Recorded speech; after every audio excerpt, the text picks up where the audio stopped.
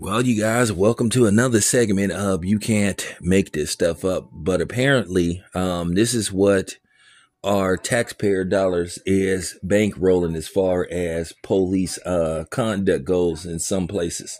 Not saying this is all cop behavior, but this goes on a lot that they don't want to report about policemen, you know, um, basically going beyond the calls of duty. But it looked like with me, this is the call of booty instead of duty. But nevertheless, this officer should be fired. Uh, he should never be allowed to basically practice law enforcement ever again based off the fact that he has no respect for himself, the public, or the badge. You know, he basically took an oath to protect and serve, not serve a woman up in a police vehicle um, on taxpayer dollar and on police time.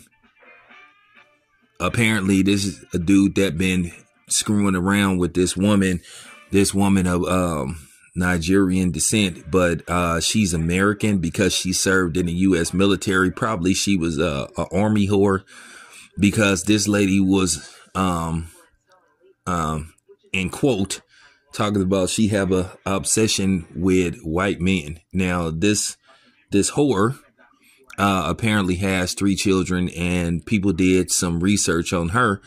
Um, and she basically has no remorse because this officer is also married. And it seems to me, you know, based off what his wife looks like, uh, she appears to be, you know, black. And he might be one of these dudes that had what you call a chocolate fetish you know, and do not think because he, you know, likes that, uh, black, you know, that black chocolate, that black chocolate pudding that he likes black people. This is the typical, you know, what you call possibly, you know, suspect. I don't have enough information on him as a whole, but a lot of times you run into these type of cops, you know, and you didn't did research on them and you didn't found out about them that they have this thing towards black men where they like to mess with black men. And what I mean by harass them, pick on them, profile them. But then they feel like it's a form of taunting them because they're going home to a black woman. Now, like I said, I don't have enough research on this dude's personal life. I don't know, um, have this dude had any complaints of misconduct against him, but I wouldn't be surprised. And as you guys see this dude's face, I wouldn't be surprised if in the next couple of days that information starts to surface about this dude probably having incidents with um, black pedestrians. Probably, you know, um, basically coming up with a way to pull them over, profile, and all this kind of stuff. I've seen this before. I've done several videos about this, but nevertheless, despite that, at the very least, he shouldn't have a badge. He's been since suspended, but they're talking about pending uninvestigated. What is there to investigate? This is a dude, basically, somebody filmed him and apparently this incident with this lady, he's had quite a few of these meetups. And apparently this latest meetup happened, well, basically a few days ago. Uh, it looked like it happened as early as Monday. And basically, um, they were in a public place because, uh, when you see the actual video, you see kids running around and they're saying this incident happened, uh, near a playground so this man didn't even have enough decency to go somewhere like in the hills or go somewhere in a secluded place. This dude basically told her to meet him at a park and they got in the back of the po- police car and started started messing around. And it just goes to show you that this lady has no respect for herself because dang you screwing around with a dude in a cop car. Y'all don't even have the decency to go. I mean man you can't afford a hotel Y'all can't meet up after he get off of work? Must be something that she keeping from him. She must have, she, she must be with somebody. Cause I mean, man, they can't even meet up at a hotel. Now, this bed wench, this um Nigerian woman, apparently has three kids of her own. And people did research on her. They saying that her first husband, who apparently at the very least uh had you, you know possibly was black or Nigerian like her, left her because she was cheating on him. And then if you look at some of her posts, she is delusional. She says in her mind she don't think she did nothing wrong. But of course she's trying to blame it on the wife, saying, Well, you were cheating on him and all this kind of stuff. Well, that information hasn't been revealed yet.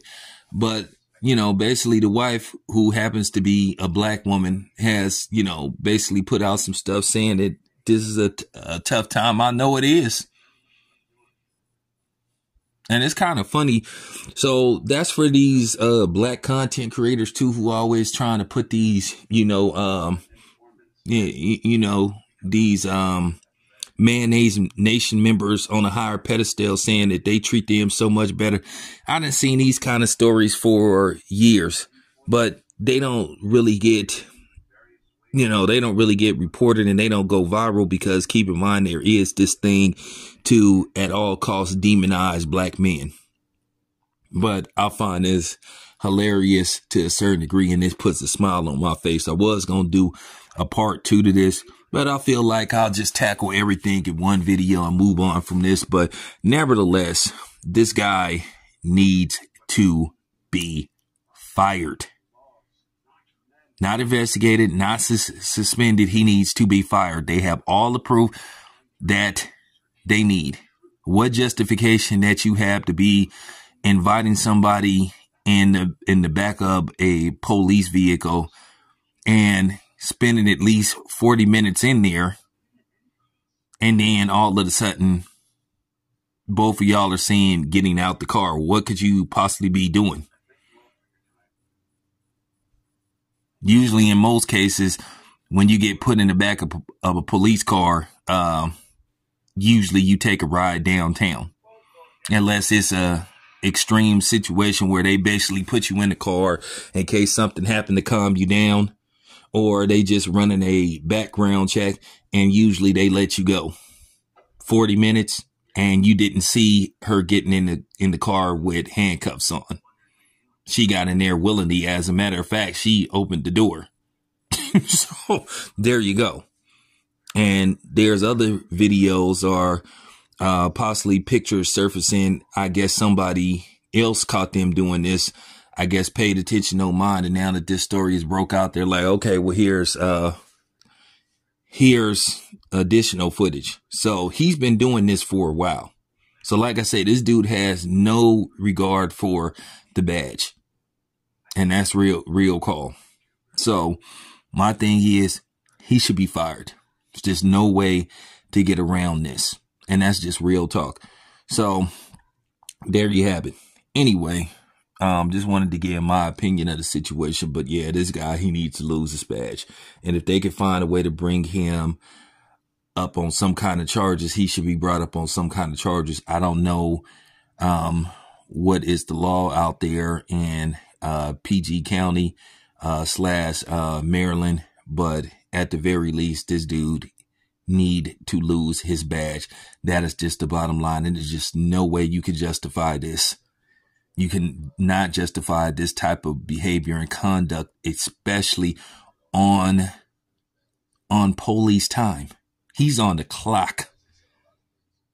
It would be bad enough if he was doing this, you know, not in uniform, because keep in mind, officers are held to a different standard versus regular people because police officers to a certain degree they're considered public figures because they work with the public. So that's a little different than you know when you hear about celebrities and random people doing this but this is a married police officer with children who has no regard for his wife or his family.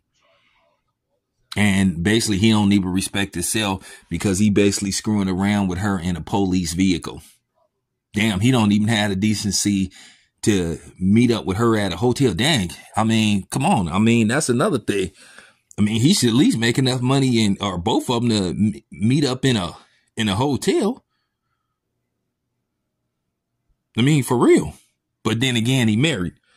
And then her, like I said before, the police, she have no respect for herself. You sitting up there screwing around with a dude in a police car? Man, talk about bad winch chronicles. But anyway, there you have it. This your boy Town Biz. I'm out.